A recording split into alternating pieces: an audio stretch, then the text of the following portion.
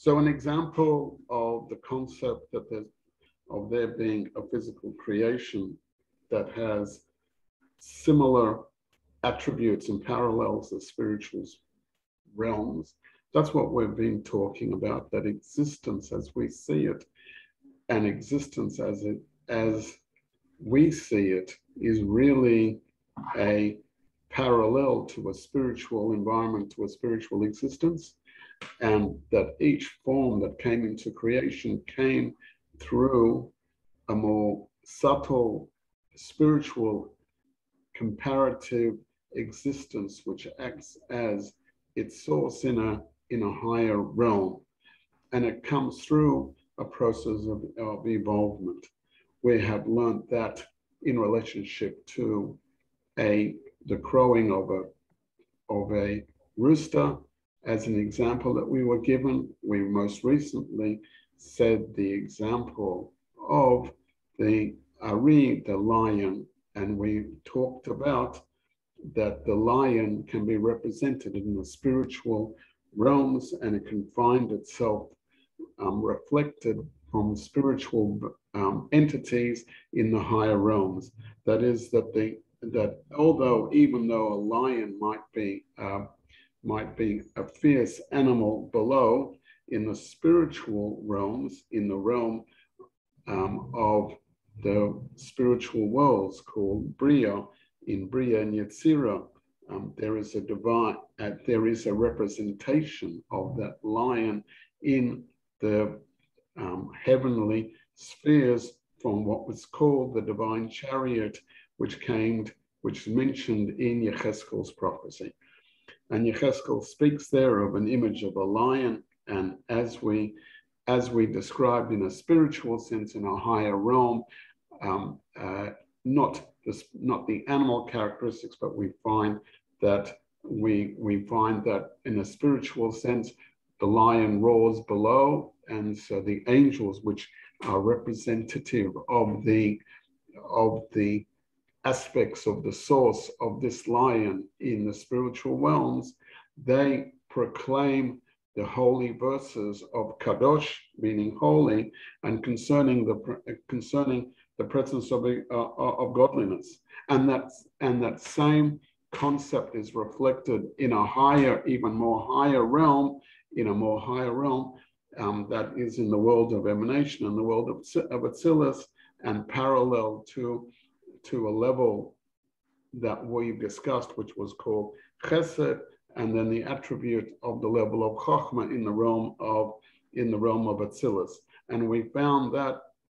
by virtue of, uh, as was discussed in the text, uh, we found that as a as as part of the text in terms of the letters being potentially rearranged and coming to associate themselves with a with with the higher realm. That is the idea of Ria, the idea of seeing, the idea of vision, where vision incorporates a higher realm, which is the, which is which is the idea of which the idea of chokhmah. Chokhmah in the, in the spheres sees everything in one in one instance and a higher in a, in a higher realm in a sense of clarity of capturing all parts of the idea as uh, as one unit. And then the Maamer even mentioned that this that this has a root in a higher realm, in a higher realm called Keser. Okay. That's we we are um, we are in the in in the text. We are at um, in the in the text which is referenced in section in the first video that we do it, and in the text um, which was uh, we called true existence in the book where it we are on page 32, which is wherever um, in close to where the note, where the la last note 102 is, and in the paragraph, the paragraph described as um, day and night. So we're, we're starting and we're, we'll continue with the text at the moment. Now, in that same idea as the reflection in the realm that one level can be uh, a proxy or a reflection of a higher realm, um, we can we we also note we also note that the uh, a higher a higher level, another representation or another example of this higher realm representation is the idea of day and night. And where do we see day and night are mentioned? So here we're going to continue, we continue with the text, learning the text. Uh, and he gives the example in a similar sense, when we have in our in our realms of existence the idea of a day, Valayla and a night, Lamaila in, in the in the higher realms, Kashahia Mesha Bahar, when when Moshe Rabbeinu was receiving the Torah, he was in that period of time of the 40 days and 40 nights receiving the Torah, Torah from God. We have a we have in the in the narrative of that and the midrashic sources of that more fully documented documented in note 102. So over there, we, we talk about the story, or we talk about the episode. What happened was Moshe Rabbeinu was in the heavens, learning Torah from learning Torah from Hashem, and it, and, and it said that in the daytime, in a, in in the daytime, Hashem taught him the uh, uh, Hashem taught him the um, the, the, the Torah and at the night time, he would have to review his studies. So in the daytime, he was taught the written Torah, and in the evening, um, uh, uh, when he would review his studies, the oral Torah, uh, the oral Torah would be the nighttime. The idea uh, being that because different um, different things happen in the in the in the, there was more light associated with the with the um, there's more light associated with the given to, with the written Torah than with the oral Torah. So this is a period of of a point uh, of when there is more light and um, left, and the period of nighttime is when there is less light. Similarly, so in the oral in the written Torah is the highest level of spirituality. In the written and in the oral Torah is a lesser is a is a is it's not as it's not as revealed. It's not as it's not as so much an area of light. It's somewhat more dark because um, they're more detailed and you have to understand it and grasp it and put it into your into into your mind. So this is the idea this is the idea of of internalizing this knowledge but it becomes you're changing you're changing and um, limiting the light of Hashem um, inside of yourself. So this is like a more proxy to the idea of of, of nighttime. It's uh, also there's a there's an there's another idea which we're just about to which we just says we're just about to say in the text, right? So hine um uh, hine apam omer rabbeinu shechino uracha that when Hashem was teaching Moshe the, the written law, um, he knew this was the daytime. When he learned with him the um, the, the oral Torah, right, he, he knew there was night, indicating that there was a different there is a differential between between these two levels, between between Torah Shabbat, Torah, the written the written Torah, Torah Shabbat, and the oral Torah written um, by light, that you could you can conceptually represent as day and night, and from this, Moshe Rabbeinu understood that it must that in the physical realm that expounds to, that it relates to, that evolves to day, physical day and physical night. It, in a, in another in another place it's recorded or Palm Omer another place it's recorded that our sages say Omer Kodesh when the angels say say Kodesh say the say that prayer expression of Kodesh Yeda Shehu Yem Moshe Rabbeinu knew it must be daytime Kesha Omro and when they said Baruch when they said when they said Baruch that they, he knew we recognize this is this is a night this was nighttime. Again, the same concept implied in this idea that At the time when the Malachim, when the angels say Kodesh, it's a time of greater revelation. At the time when it is when it when it is when it um, when it is that the Malachim are saying Baruch, eh, he understood that this is that this is an indicator of a of a of a, a lessening degree of light, and therefore that's how Moshe Rabbeinu recognized recognized the day and night. What is this? What is this teaching us? What is this teaching us? That Moshe Rabbeinu recognized by the differences in the spiritual realms, the differences about what was happening in the physical in the physical realm,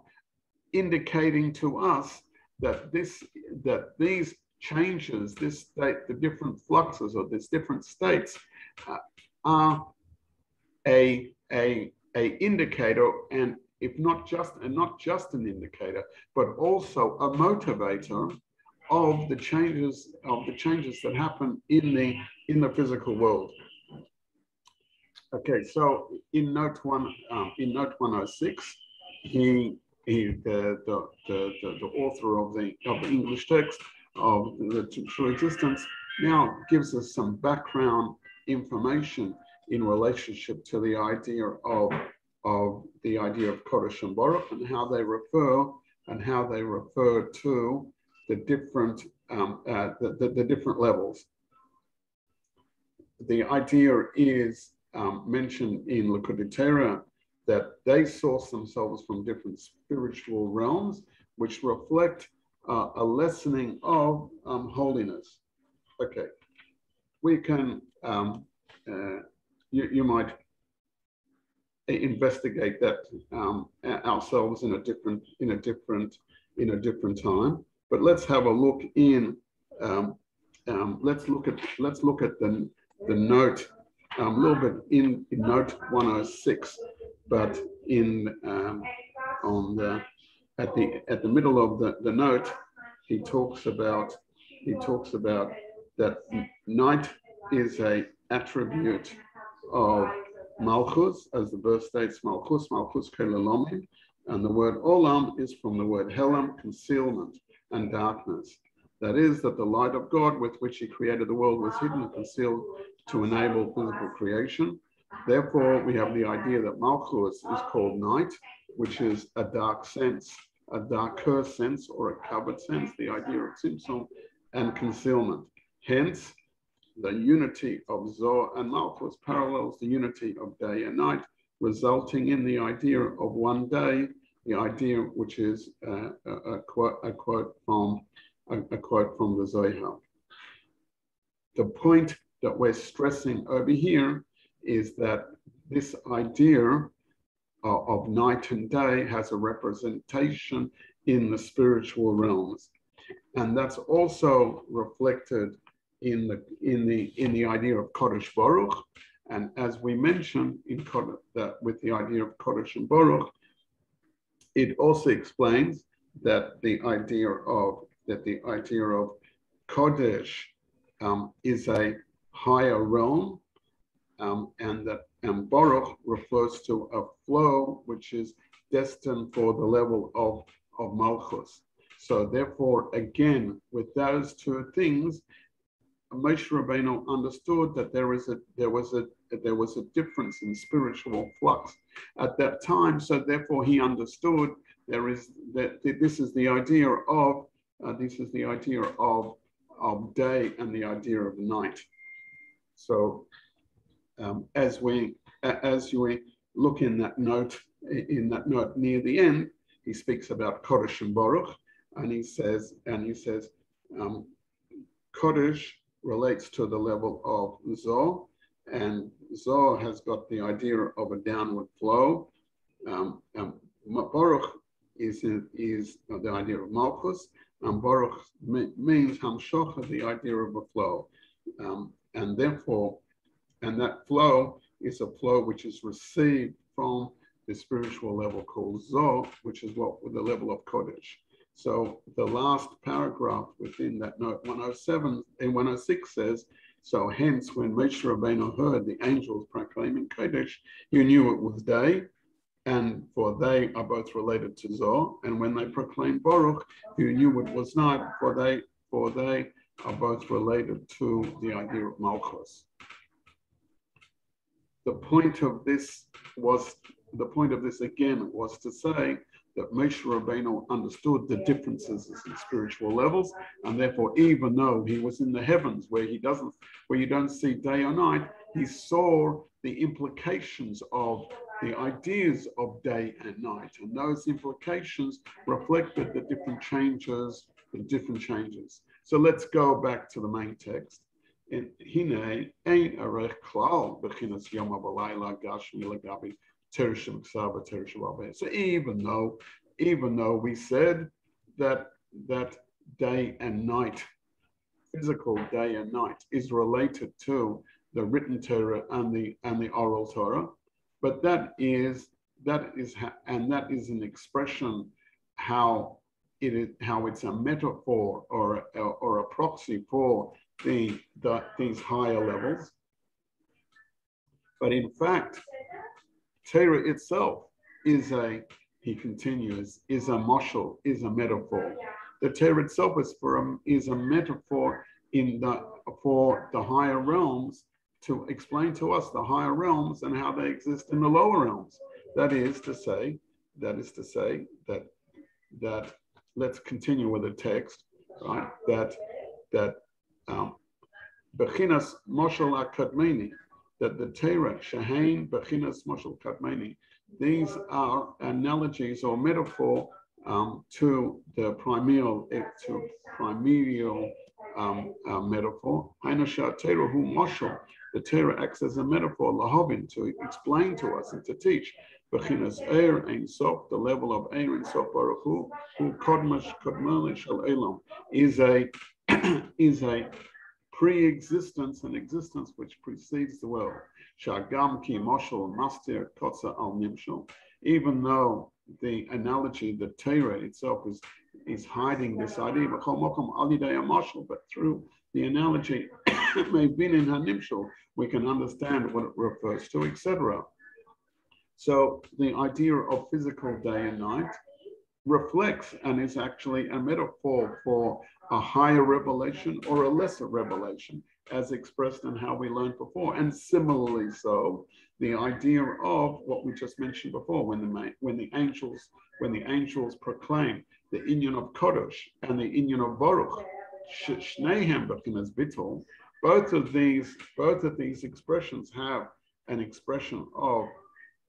of not self nullification of the angels, Raksha Bittul Desrofim.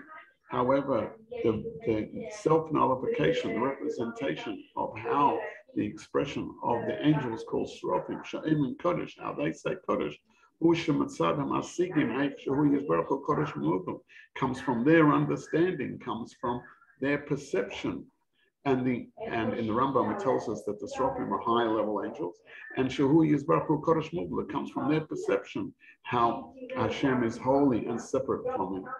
But Baruch, the word uh, the Baruch Fanim, but the angels which are called Ofanim, and the Rambam tells us that there are a lower class angel, Sheretzim Hamshocha, they they they desire, they express their desire for the drawing forth of divine light. And they are not comparable to day and night, the physical day and night, but they express the, a, a differential, a different level, a different level of uh, a different level of existence.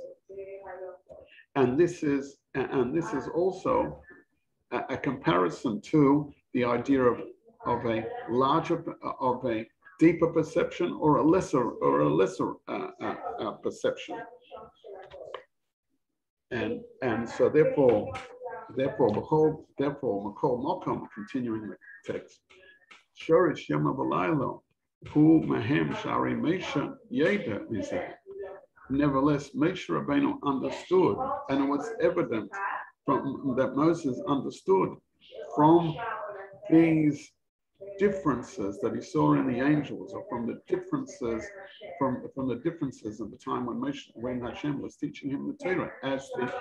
as we are told, as our sages told us, we understand. Continuing the text, that in the upper realms, the proxy or the equivalent to, but not um, but not the same, but in the spiritual sense, there's a level of equivalence between day and Teresh and and the, the, the, proclamation of Kodesh of the angels, and Bechinos Laila, and the and the difference to the uh, to to the idea of night. What what is night? To Inyan Teresh which reflects the idea of Teresh or Bechinos Baruch, and the level of Baruch. Shetzrichas Lias Ravovis and Medregas Now, in order to in order for physical entities to be created, there needs to be the evolution, the evolution from the higher spiritual realms to the lower spirit to, to the lower spiritual realms. And the existence of these higher spiritual realms is evidence in the Torah via these stories that we've said. And as they evolve in a spiritual sense, or as they de-evolve into the lower physical sense, they become a they become a, a constituent chain in the in the upper progression of an of indicators which which show us that higher realms um, cause a spiritual flow to to you know to, to the lower realms. So even though, as we said, they become they are a what we could call a source, not necessarily a direct source, but an influencer.